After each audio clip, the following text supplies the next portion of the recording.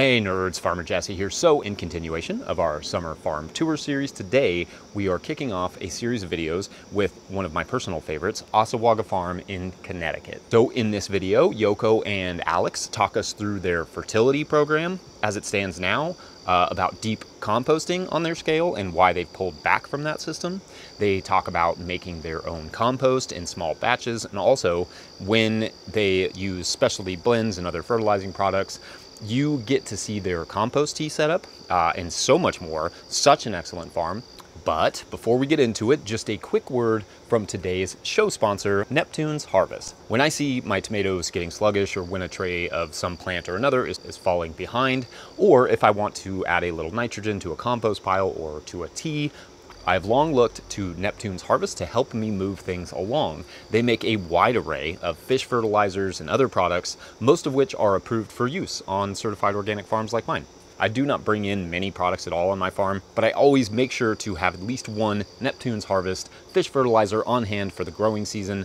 Uh, get 5% off of their products at neptunesharvest.com when you use the offer code NO-TILL and or just use the link in the description. Supporting them helps support videos like what you're watching now. Speaking of, let's get to it with Yoko and Alex of Assawaga Farm.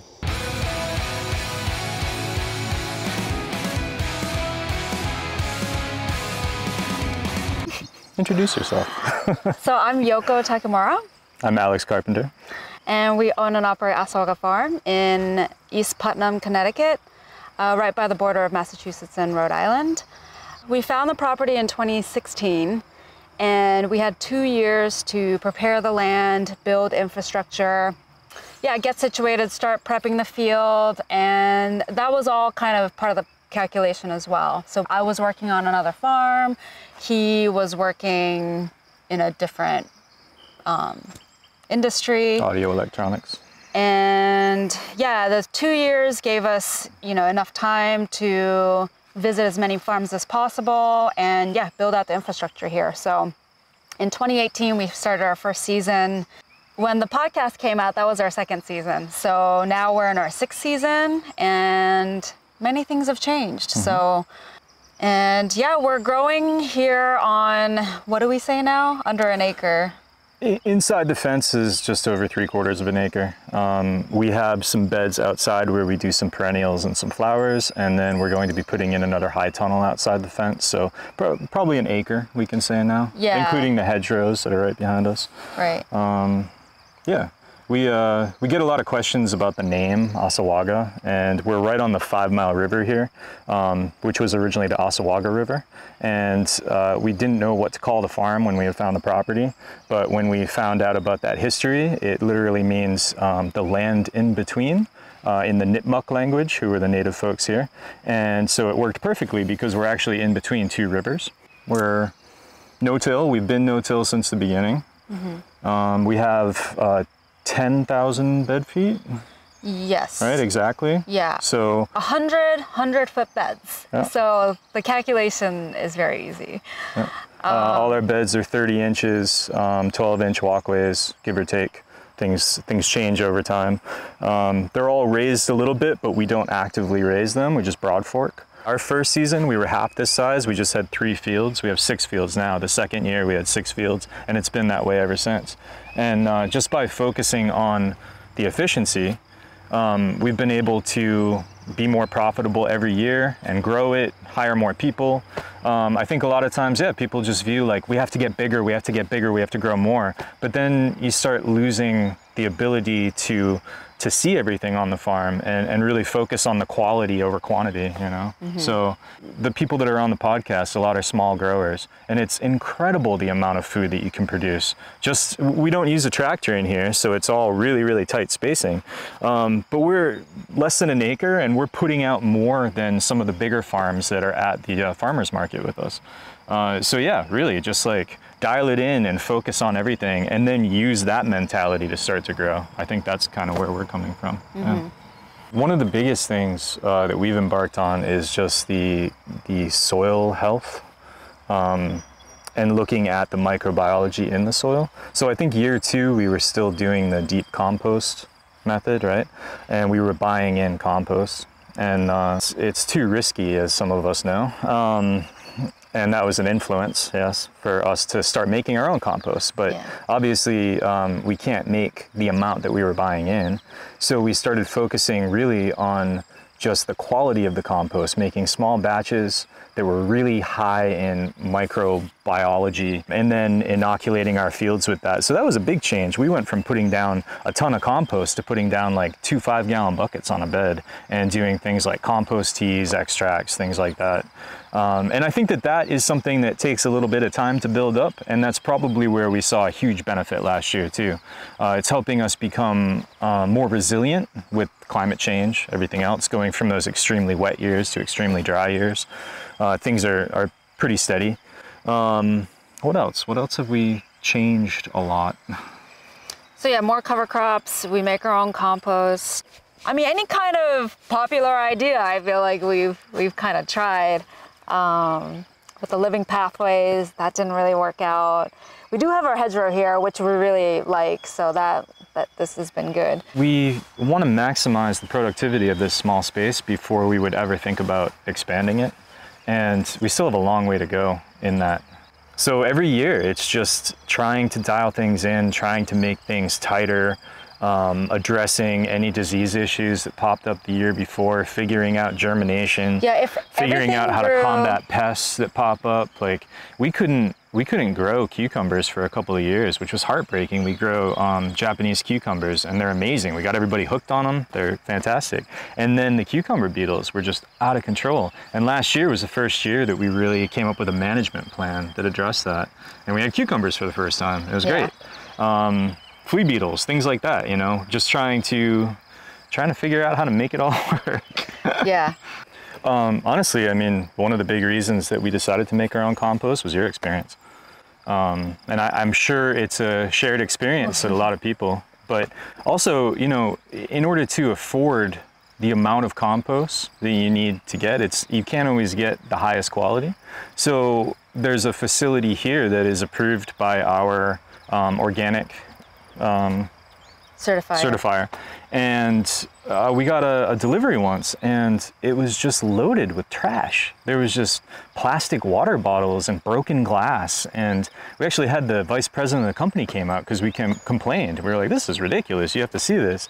And uh, as he's telling us, like, had the we use eighth-inch screens to screen it, and I'm like pulling like five-inch pieces of plastic out of it. I'm like, "You're not." And so what? Are, what's in here that we can't see? Um, is it being tested? Uh, are you making sure that it's going through the proper heat cycling? But that's totally unacceptable. You know what I mean? And for the for the certifier too, it's like, eh, you know. Um, but but then when we started thinking about your experience and, and the experience of other farmers dealing with the persistent herbicides and how you could spend years cultivating the space and bringing it up to speed and then just damage it so much just so quickly, um, we decided to stop and we just stopped cold turkey. Um, we took the soil food web course with uh, Elaine Ingham, and that was really eye-opening. It's uh, it's a bit of an investment, it, but what it it changed our perspective on things as far as uh, soil health and and what's going on between the plant roots and the fungi and the bacteria and everything else in the soil, and accessing nutrients things like that. So it really changed our perspective um, in how we treat our soil. Uh, we were already treating it well because we're no-till, but um, it, it gave us a lot of tools. We look at things through microscopes. Uh, we wouldn't ever apply anything that we make unless we're sure that it doesn't have pathogens and, and bad guys living in it. Um, and one of the things through that course is she shows you how to make very high quality small batch compost. And we dove right in. We started doing it two years ago. Um, we were making a pile every week.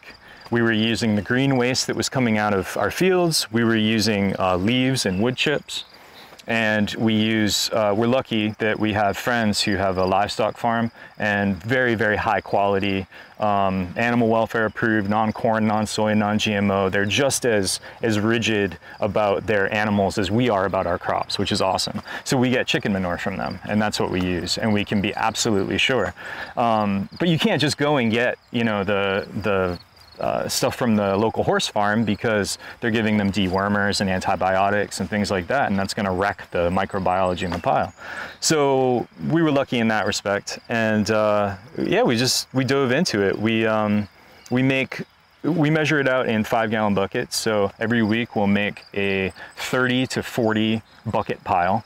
Uh, 30 is about the minimum we would do. You need the mass in order to keep the heat and, and go through the proper cycling. Um, we mix it all together. The ratio is 10% high nitrogen, which is the chicken manure, 30% green waste, 60% browns, carbon, um, wood chips, leaves, things like that. Uh, so we'll do it in, we'll break it into 10 bucket assortments with that ratio, uh, put it on a tart, mix it all up, load it into a wire cage that's on a pallet, so it's got plenty of oxygen. Uh, we get that up to temperature. So if it's uh, 130 to 150, we cook it for three days. If it's 150 to 160, two days, 160 and up, uh, one day. And then we'll turn it twice. And so every part of that pile is going to go through that heat treating, heat treating process. Doesn't matter if we're taking diseased tomato plants out and putting it in, we're not worried about it. If we're taking weed seeds and putting it in, they're going to get denatured. Uh, so it's, it's a very safe way of us to be able to have control over the biology that we're then putting in the field. Yeah, I mean, we'd love to do bulk compost, but I think many farms share this. Um, we just, a like don't have the space um, where trucks can access and dump you know ingredients. B there's just not a trusted source for like manure. And we can't even take municipal leaves. The town goes out and they suck up leaves in the fall but there's so much trash in it. So Wait. we actually go out and collect leaves in the fall yeah. which is crazy. Yeah it's it's a lot of work. Yeah. so we do have a bulk pile that we put all the field waste into. And then every now and then Alex will come in with the front loader and dump some wood chips down. So it's just a little mixture of the, you know, carbon and nitrogen. Um, so that just kind of stays there and then either becomes brown material for the early compost piles that we make. But one thing I wanted to mention was, you know, every farm is has a different is in a different um, situation. So, you know, if to start the farm and to build out your field, you might need to do the deep composting mulch, um, especially if you need to boost your organic matter or, or what else. But I think at a certain point is like, do we keep putting down this this amount of compost season after season?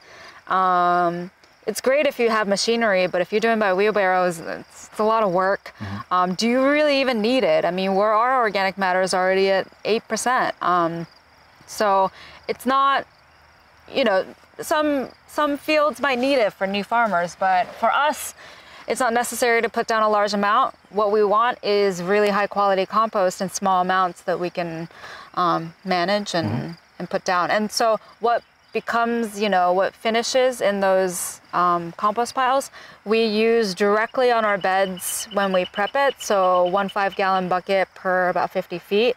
So we just spread it. Um, but we also, so that's just part of the bed prep.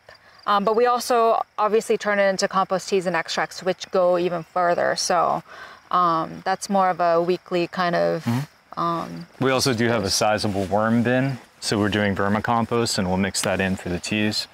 Uh, and one of the, the, the, ways that we changed our system um, when we started doing that, when we got away from the deep compost, is we started mulching heavily. We use salt marsh hay. Um, geographically, where we are, it's it's accessible and it's great because any weed seeds that are, that are in it need salt water to germinate. So it's basically a weed-free mulch. And uh, we don't have any science to prove this, but it smells like the ocean and we feel like there's a lot of sea minerals in it too, which is great. Um, we also do a ton of cover crops like we mentioned. Mm. So that's keeping our organic matter really high as well. Uh, so yeah, that allowed us to transition away, started using lower applications of really high quality compost, making sure that the soil surface was covered and we're not losing any of that uh, fertility. Yeah, and then yeah, in terms of fertility, it is really amazing how little like nitrogen we need to apply to our soils. I mean, on a regular, just a regular crop, maybe 100 pounds per acre nitrogen, we get away with um, about 30 pounds per acre, especially during the, you know, for the spring and early summer crops. Fall, obviously, we need more because most of that nitrogen in the organic matter in the soil is released in June I think, um, and you can kind of see it. Um, things grow really well then. So definitely need a boost in the fall crops, but um, we apply fertilizer for sure. So we used to mix, you know, the nitrogen part and potassium it just doesn't work with employees. I mean, something that we can do in like 20 seconds, you know, put a little bit of this, put a little bit of that, mix it with the mixer. Um, that just ends up taking way too long with employees. So now we use a blend. Um, it's a NeverSink blend actually because we already need, we know we need a lot of potassium. So that was a huge, you know, content of our fertilizer. And his mix already has a lot of potassium and it just, and I don't want that much phosphorus. So it's just a, it's a 617 mix and it's just, yeah, so employees can just grab a, I don't know, a bowl of it and that, that's it. And I'm like, that's, so we just started buying that. We'll see how it goes, but already I think we're saving some time, so. Yeah. But the content is mostly, yeah, a little bit of nitrogen, a lot of potassium, a little bit of phosphorus. But we, we also apply um, some slow release potassium. So we've been adding for the last couple years granite meal just to have a little more baseline, I don't know, potassium that gets released over time. So. And when we were taking the course too, I don't know if you felt this way, but there were no examples of like a small, intense vegetable garden using this. Right? right? So it was all bigger ranches and it was bigger growers. And we even, through some of the, the Q&As, we would ask that. Um, and there were no examples. So we're trying to make it work and we're adapting it. We're not doing exactly what we learned in that course. We've kind of made it work for us. And yeah. uh, it's all, I, we'll have to, you know, 10 years out, we'll talk about it again and we'll see what, what has happened. But right now it's a lot of uh, observational and anecdotal evidence. Um, mm-hmm. But I, I think it, I think it is working for us, you know, and it feels good. It feels good to make your own fertility on the farm. Yeah. It feels good to close those loops of not just putting all your green waste in a pile and just letting it rot. Um, mm-hmm. I, we, we feel a lot better about it, which yeah. is important. Yeah, and it's you know you take you go to compost workshops, but it's always so vague. So I do appreciate that she really breaks it down and goes mm-hmm. through every step, make sure. And then also you're obviously double checking at the end through a microscope, make sure you don't have any bad guys. So like it makes you definitely more confident about making compost and. And we talk about this too. There's so many um, like soil health businesses that yeah. sell products and it's they never really tell you what's in it. It's like, oh, you have this problem, buy this product, buy this. We just feel good about like this makes sense to us, and you know, mm. and we can understand it and wrap our like mind around it. So. So yeah, this is where we make our our high biology compost, um, that soil food web version that we were talking about and uh, we aim to make a pile a week 30 or 40 buckets worth. This is a 30 bucket pile. We flipped it once and it uh, came up to temperature yesterday. So uh, in a couple of days if all goes well we'll flip it again. And then if all goes well and it comes up again we'll uh, that'll be it. We'll uh, let it come back down to ambient. At the height of the season, we can you can go in as little as three weeks from raw materials to actually applying the compost in the field. Um, so usually by the time we're on our third pile, we're already spreading and making teas and um, extracts from the first pile. Uh, so once this gets cooking, it's uh, it's fun. It's uh, a couple times a week we're over here flipping it, making it, and uh, it's just really, like I said earlier, about closing the loops on the farm. Uh, it's really nice to be turning all this green waste that's coming out of the field into something that's going right back in our field. Um, mm-hmm. It really feels good. Yeah. And uh, that for that alone, for learning how to do this, I think that was worth the, the price of admission for that course we took, for sure. Mm-hmm. Uh, yeah. That learning how to use the microscope. Um, but yeah, basically what we'll do is just put down a tarp right in front of it. Uh, we'll line up all our buckets, get everything pre-soaked, and then uh, we have a couple of manure forks, and it's usually like a three-person process. One person will be dumping materials in, and the other two people will be mixing them up. And once they're nice and mixed, you just start loading it in. Um, put a there's a post in here that we just drive through the center, and then put the tarp on just so uh, if it rains, it doesn't get too saturated, or if the sun's out, it doesn't dry out too quickly. I think in the course she would, um, whenever she flipped, The pile, she would um, move it to another spot because then she starts building it into that new spot. But we just keep it in the same spot. Have three, if we do a flip, we have three tarps down all around it. So for instance, for this one, we would maybe put like two in front, one in back, take out the three parts of it, you know, and then rearrange it. So we don't ever have to move its spot. And uh, somebody at our gathering last night, we were talking about compost, and they asked us uh, how much of a time investment it is. Because uh, it seems like a lot of work, it seems like a lot of time, but it's really not. I mean, we spend building a pile, uh, all things told, gathering the materials, get every, getting everything prepped, uh, maybe an hour mm-hmm. total. And then well, for that's with um, how many people? At least three. Like three people. Yeah, yeah. Yeah. And then uh, when you go to flip it, um, if you have, it's like a two-person job. If you have two people flipping it, less than half an hour for a flip. Uh, so for the benefits you get out of it, the time investment is very low. Uh, and there's been times where, you know, this is ready when it's ready. So um, there's been times when I've had to flip it when Yoko's at market. And one person can do it. It's not ideal, but it maybe took me an hour or 45 minutes or something. Um, still worth it. So we check the temperature. well, unless the pile fails to come up to temperature, then then that time that's that was spent to gather the ingredient. Well, well, so what happens with a failed pile is we use that as the browns for the next pile. So it's not completely going to waste, mm -hmm. but you know, it's kind of it's, kind it's of annoying. all the experience. yeah. And if we're only putting, you know, say in a hundred foot bed, we're only putting two five gallon buckets of it this is a lot of compost. We can do a lot of beds. So um, yeah, totally worth it.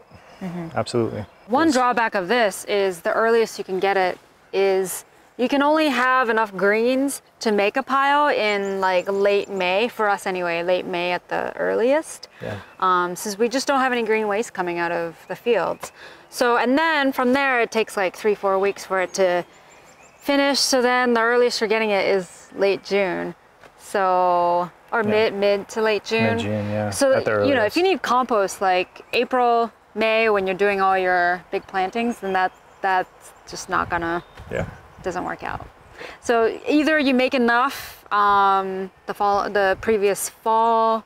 We have had that where where we have like the last two piles we made, we just don't have an application for them in the fall and we just leave them for the winter and then we, we apply them in the spring. Oh, yeah. And then this is our, our worm bin. It's a two by four. Um, eventually it's going to be, if all goes well, a flow through. Uh, a lot of the big commercial scale ones are flow through, meaning you harvest from the bottom. So this has a grate down here, and right now there's several layers of cardboard. So when they start to uh, wear through that cardboard, uh, we will hopefully be able to feed in the top and collect the castings in the bottom and have a constant supply. Um, but until that happens, what we've been doing is feeding on one side, all the worms migrate over there. Uh, I just put this on to cap it. Whenever we see um, any fruit flies coming in, I just gave them a ton of strawberries. Um, so they're, they're working on those right now. Um, if you just smother it, then the fruit flies don't, they, they move on. They, they can't I don't think they can survive. It needs to be like fruit on the surface. Uh, so I just put this down to block any of that. Um, but all the worms are over here where the food is, and now we can take the castings from here and make teas out of them. Um, yeah, this is this is great. It goes year round. We can feed them in the winter and uh, make teas anytime. So right now we're using this. It's uh, called a bubble snake. This company called Tea Lab makes it, and it's made to fit in a five gallon bucket. So we make five gallon batches at a time. And then we use this little um, air pump right here. So this connects on to the end and it's got all these little holes around it. So it sends big bubbles down to the bottom and agitates it. And we brew it in a just a clear five gallon bucket. Um, we use a tea bag and we'll put one pound of compost into this, oh. tie it up, and then it, yeah, yeah. And then uh, this hangs from this in the bucket. And the idea is you just want um, complete oxygenation. You want just aerobic organisms to survive. Uh, so we'll bubble it for at least 24 hours. And then we'll start checking it under our microscope, which is right here. We have an OMAX microscope that we use. And there's a uh, camera that mounts to it. So if we want to share it with people or take screenshots, Um, ideally, with having all of the uh, the employees, if someone really takes an interest, we can actually train somebody, and this can be their job, and then we can start keeping records of the different batches of teas and things like that. Um, but one thing I really like about the teas is that um, because you're feeding it and you're rapidly expanding that biology, it goes like it can change quite a bit and you can tune the tea for what you need. So you brew it for 24 hours, you pull a sample, you look at it on a microscope, and it's all bacteria. All you see is bacteria. Um, you learn how to see like good versus bad, and you can't tell individual species, but you can tell um, whether they're good bacteria, or bad bacteria. Uh, so 24 hours, all you see is bacteria. Let it go for another 12 hours, you look at it, there's like no bacteria, and it's all protozoa. So all the predators. And they've been, their population has increased because the prey had increased. So you've got this like sine wave of predator prey. And so if you have a bacterial disease on your leaves, um, you want to spray, like ideally you want to spray a bacteria rich one to coat the leaves, right? But if, if a bacterial infection has landed on your leaves and colonized it, started to impact the plant, you could brew a more heavily protozoa tea and put it on, and they'll start to consume all that bacteria. And uh, you know, this is all we got to allow a lot of time and, and, experience to understand this. But just anecdotally, last year we had our cucumbers had bacterial infection on the leaves, and we sprayed it with a tea that was heavier in protozoa. All of those impacted leaves um, turned crispy, fell off, all the new growth came out, never had the disease again. So I think there's something to that. And uh, there's a woman that we worked with that has her own vermicomposting company. She's got all sorts of experiences like that. You know, powdery mildew on the zucchini, spray it, those leaves that were affected dry, fall off, leaves come back, no powdery mildew. So um, yeah, there's there's science behind it. It's just there's not a lot of study being done on it. So maybe in 10 years of doing this, we're gonna have a whole lot of you know things that we can share. What I like to tell um, you know, soil-based farmers too. Like uh, livestock farmers, a lot of them look under microscopes because you have to identify pathogens. You have to keep your your animals healthy. I think I think soil farmers should have that skill. We should be looking at it. You know, it, it's helped us diagnose some issues in our field before that otherwise we would have just said, oh, like it didn't grow well this year. I don't know, maybe next year will be better. But we looked at the soil and we were like, oh, that's why it's not growing well, and then we can address that. So mm-hmm. I think it's an important skill, for sure. Everybody needs a microscope. Amazing, right? Just love what those two are up to. And if you want to learn more about some of the styles of no-till they discuss, like deep compost mulching, while supporting our work, you can. You can pick up a copy of the Living Soil Handbook at no-tillgrowers.com, or a hat, or other merch or just go to patreon.com slash no-till-growers and sign up. Or you can just hit that super thanks button, that works too. All of that support literally makes it possible for us to do things like send my partner no-tillgrowers.com, Jackson Roulette, up to see some of the best no-till farms in the country and film them and then make videos like this. Like this video if you like this video. If you are not subscribed to the channel, make sure to hit the subscribe button. And if you are subscribed, you're awesome. Uh, thanks for watching. We'll see you later.